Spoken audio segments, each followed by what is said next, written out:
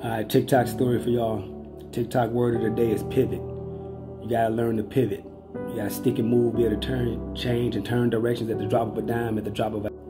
I know my TikTok page is dry. I'm still learning how to use this damn app, so uh, my TikTok page is real dry, but I don't care. I'm talking about real shit, dropping real game on it. I was talking to one of my homeboys on the phone, and he going through some things in life, and uh, it's kind of getting the best of him. And I was telling. I was telling him don't let him get it, you know, let, let it get him down. You know, you gotta learn to pivot. You gotta be able to change directions. You gotta move and groove and, and be able to take that and, and, and move and do something different. You know, you gotta pivot. I was telling him how, remember when I was, you know, I was born and raised in Chicago. Um, I had a big family, a family that was in the streets and they was, you know, into selling drugs and gang banging and things like And I fell into that just because that's what my family did. And um, I was out there getting busy doing some things. You know, thank God I never went to prison or you know anything like that. I have a lot of family members that have went. I have family members that lost their life behind that. A lot of friends that went to prison lost their life behind that, and I saw it coming. And I knew that uh, I was in it, but I wasn't of it. I knew this wasn't me. This wasn't my final destination, and I was always thinking and moving and trying to pivot.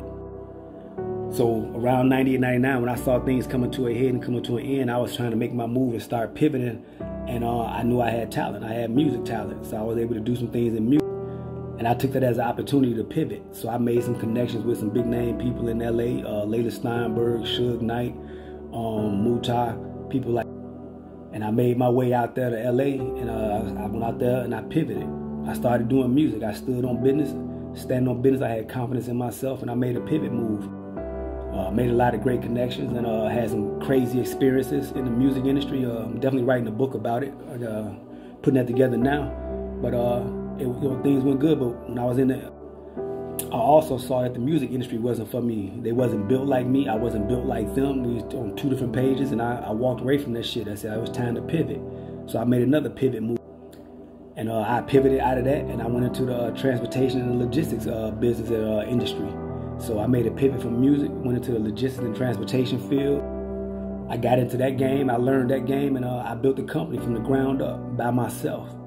Um, I made a pivot move. I learned to pivot. You know, you got to survive out here. I built. I had a company with a couple trucks, a couple drivers. I was able to really kind of semi-retire myself and just kind of sit back and run the company. And uh, it went well for for a lot of years. Uh, made great money, uh, living good, you know, good life. I saw that coming to an end and starting to slow down, and uh, I had to pivot.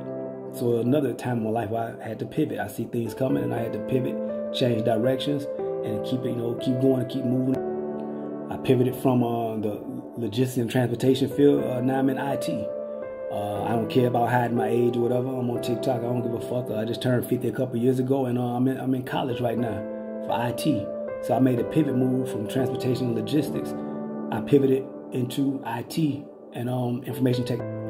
So I see that's where things are going. I see it's good money. It's a great career field. So I pivot and made a move into that. And uh, long story short is I was telling my homeboy that I was talking to, um, you know, that's going through. I was telling him as black men, you know, we definitely have to be on top of game. We have to always be thinking ahead of the curve, uh, 10 steps ahead of everybody else. And we got to be able to pivot at a moment's notice, at the drop of a dime. It could be life or death sometimes. Uh, and we got we have to have that ability. So I told him, man, take this with a grain of salt, pivot from it, go a different direction, and, and, and get into something else. So that's my word of the day for the day, man. It's, it's, it's, black men or men or just whatever. We gotta learn to pivot. Shit, you gotta be able to pivot, keep it going, keep it moving, keep it grooving, stand on business. It's just what it is. God, body, Sean, peace. And the word of the day is pivot. Mm, you gotta pivot, move and groove.